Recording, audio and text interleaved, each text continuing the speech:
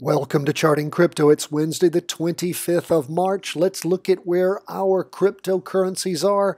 We're going to take a distant view at this point. We're backing off. You can see up at the top to the left, we are at the weekly chart right now. We can see where Bitcoin topped out back in November of this past year, early November, and then started rolling over. Then at the uh, end of J- January, sort of started moving sideways, then popped up there in March, uh, end of March, and then rolled over. And look at where it's sitting right now, the also important 200 EMA. We take a look at Ethereum. It's sitting right there above it also. Now we look at things like Cardano, we can see it's moved right below it. We look at Ripple, same thing, but look at what we have over these last three weeks. We have a slowdown in the go down, is what we would call it. What is happening? Are things trying to consolidate after all of these losses?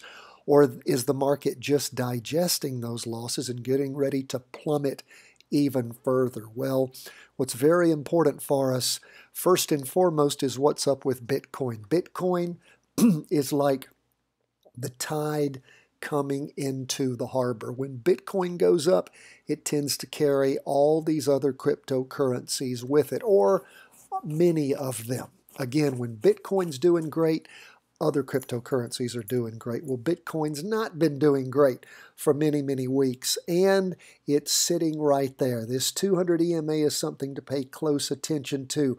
You guys know that we use it to determine whether we're looking to jump into long positions or short positions, above long positions, below short positions.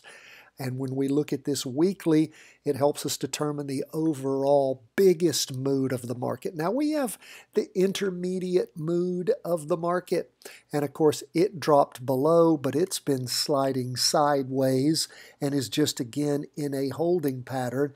And of course, we look at the half day, and I really have to range out to show you that, but you can see it is below that 200 EMA. And again, it's just sort of poking along here on that half day chart. And again, not giving us any accurate signals right now. Why? Because, of course, it's just sort of ranging back and forth, waiting for something to happen.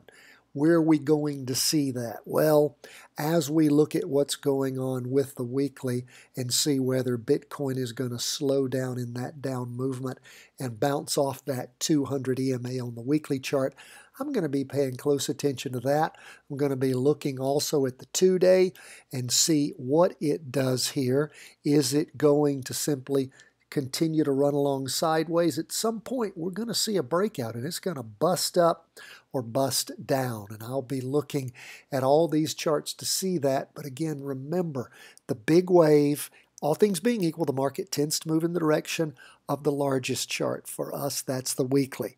We'll start seeing hints on where things are going, of course, first on the half day and then reflected on the two day. I'm waiting to see a breakout. We check out Ethereum, same kind of thing. We check out Cardano, same kind of thing. We check out Ripple, same kind of thing.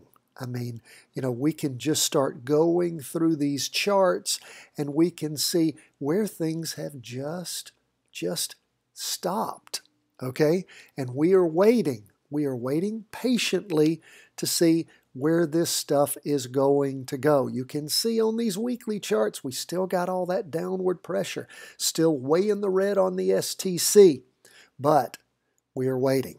Something will happen, and things are poised to go one way or the other. And my friends, I can't tell you which way it's going to go. I cannot. I can only tell you we're keeping the powder dry. We're ready, willing, and able to let these charts lead us and that is why, again, you got to be patient sometimes. If you start trying to force trades, you know, those you've been around long enough, those you've practiced traded long enough, you know you can't force a trade. Well, you can, but it's going to get you. We're not into gambling. We're into making things as sure a bet as possible. How is that? By following historic trends, going with the flow, letting the charts lead us. Practice. How do you get to Carnegie Hall? Practice. Perfect practice makes perfect. Every day, 10 to 15 minutes. That's all we ask. We love to hear from you.